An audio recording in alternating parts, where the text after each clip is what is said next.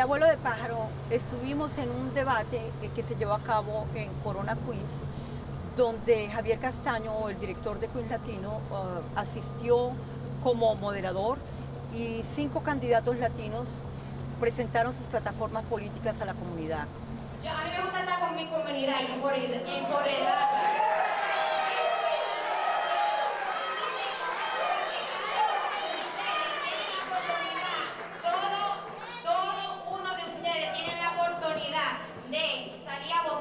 Y la realidad es que aquí no salen a votar. Tienen el chance de votar y la oportunidad de votar ahora. Y ahora reelegirme, reelegirme porque yo soy asambleísta. Primero que todo quiero decir dos cositas. Creo que nuestros votantes se merecen el suficiente respeto como para explicarles que las elecciones especiales no es de cualquiera que se pueda postular, es el que el partido escoge. Entonces vamos a hablar con la vecina.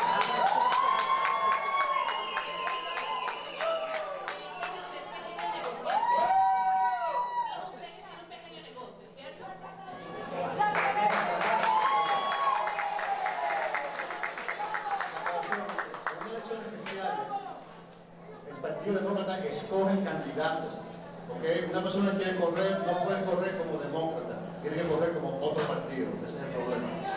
Bueno, esta pregunta, cuando venga eh, eh, senador Peralta y su contienda eh, Jessica Ramos, esa pregunta puede hacer la pregunta que tú puedes hacer. Because basically taking us backwards. For years. It's taken us backwards for years.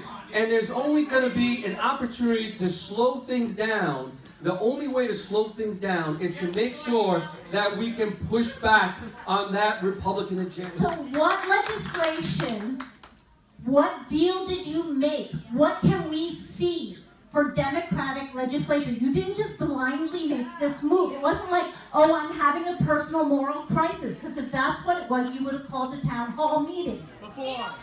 So please, so, tell us exactly what legislation we know we're going to see from this. Okay. son mujeres, amplify her, amplificar la voz de la mujer, es lo que significa cargos, más mujeres correr, eh, y tenemos aquí una, una, serie de candidatas que están corriendo postulándose.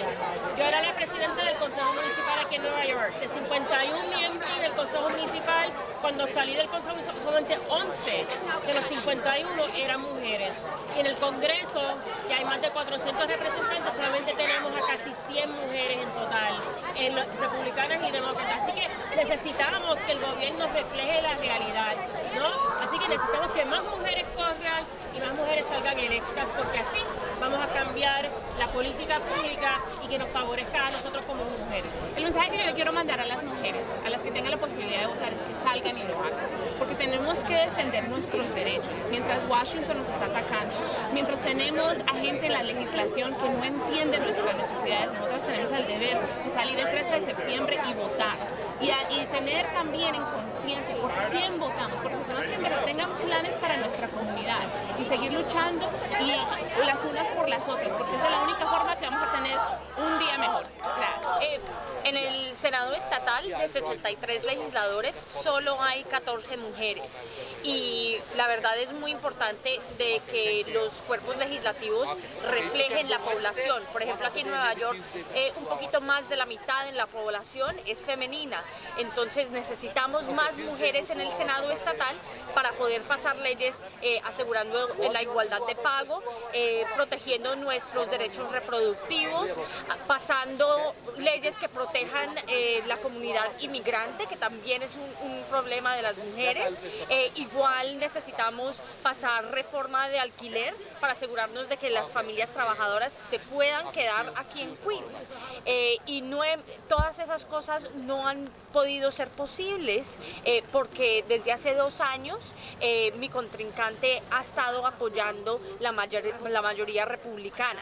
Él se fue del caucus demócrata y se unió a un grupo de ocho demócratas que votaban por eh, la mayoría republicana, que se llama la Conferencia de Demócratas Independientes. Así que no, este, este distrito es bastante diverso, hablamos más de 160 lenguajes. Nosotros no tenemos por qué estar representados por alguien que no refleje nuestros valores progresistas.